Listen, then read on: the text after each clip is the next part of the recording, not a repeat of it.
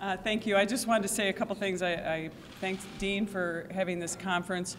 Uh, I've been against Startup New York from the beginning. I uh, have own a family business. My, our family business was started in 1946. Uh, we've, we're still surviving in New York, uh, but uh, the business climate in New York continues to decline. And in a business like ours, we do pharmaceutical packaging. I used to run a newspaper, uh, our newspaper division, which we sold. Uh, it's harder and harder to survive in New York, especially since our customer base is everywhere. We don't just serve local customers. We, can, we serve uh, customers who are international. Uh, we are competing against Canada, other states, Mexico in the, in the pharmaceutical packaging business.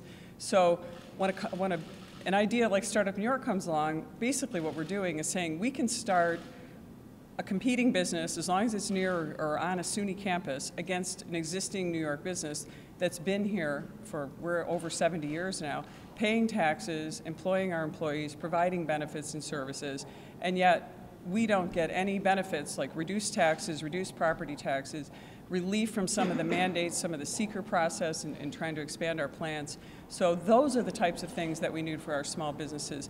Many people don't realize that small business creates 65% of the new jobs, not the big fat cats that are coming in taking millions of dollars and you know some people call it crony capitalism cronyism capitalism whatever you want to call it. Startup new york is the poster child for that concept which is a failed policy for new york.